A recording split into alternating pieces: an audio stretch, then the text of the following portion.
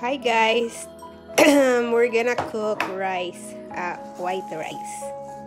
One is to one. One cup of rice and one cup of water.